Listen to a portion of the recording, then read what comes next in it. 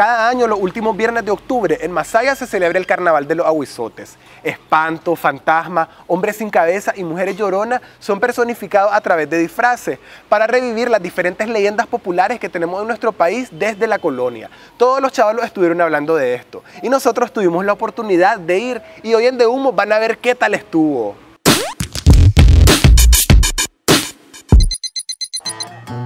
Todo comienza en Masaya desde temprano. Los chavalos buscan en los diferentes talleres artesanales una máscara para completar su disfraz de la noche. Por lo menos buscan esas cachudas, todas esas máscaras más feas. Ah, bueno, me falta decirle otra cosa, que lo más feo es lo más caro.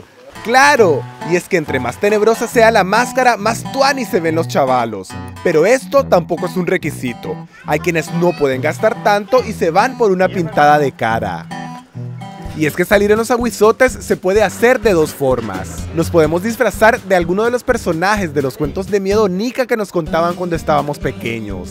O también podemos salir de espantos, con una cotona negra y alguna máscara o la cara pintada que dé muchísimo miedo. Algunos brothers también hacen sus propios trajes y se reúnen en el barrio para salir en grupo. Me llevé un día haciéndolo, con la ayuda de, de alguien más, pues, y fue algo muy lindo porque gracias a esto nosotros eh, revivimos, como le digo, nuestra idiosincrasia. Salen trajes, pues, así, que, que asustan. Me gusta andar ahí bailando, te ahí con los chavalos, con todo ahí, lo del barrio. ¿Y cómo no van a vivir con alegría esta fiesta?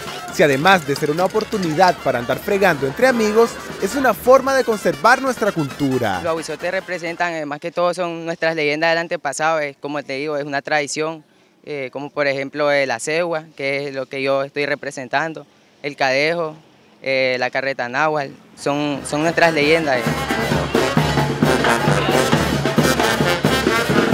Mira, los aguizotes aquí en Masaya aparecen en los años 60, ¿verdad? Un grupo de jóvenes de ese entonces que junto con la cofradía del Gran Toro Venado del pueblo decidieron rescatar esta tradición y, y traer a colación esos espantos muy nicaragüenses. Así es, esta procesión tiene como único objetivo revivir por un día todos esos personajes de leyendas tradicionales de los que segurito alguna vez escuchamos.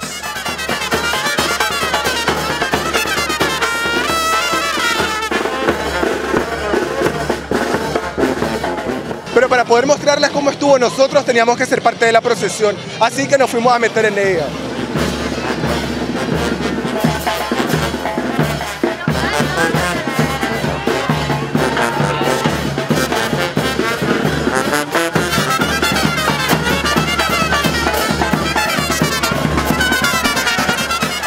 Recorrido de todos estos espantos sale a las 8 de la noche de la Plaza Magdalena en Monimbo y recorre las principales calles de Masaya para luego regresar casi a medianoche a la misma plaza de donde salieron.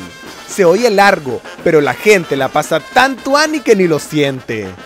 Bueno, a nosotros nos gusta venir a esto porque es un derroche de cultura, salvando todas las tradiciones aquí. Que no se dejen llevar por las cosas que le dicen que es satánico y esas cosas, porque esa- esas cosas son mentiras. Vénganse a disfrutar, que esto no es nada malo. Yo respeto mi cultura, quiero mi cultura. Andaban este, ahí, andaban unos evangélicos diciendo que Halloween o Aguizote es lo mismo, pero no es lo mismo. El Halloween es una fiesta de origen celta, que eh, tiene un origen anglosajón, que nada tiene que ver con nuestras expresiones folclóricas, culturales y religiosas. No es un culto satánico, hay que aclarar eso, es una fiesta que nos evoca los miedos que sentían nuestros indígenas y que ahora nosotros de alguna forma como burlesca, como esa huehuense que vamos dentro, lo queremos expresar en esta fiesta.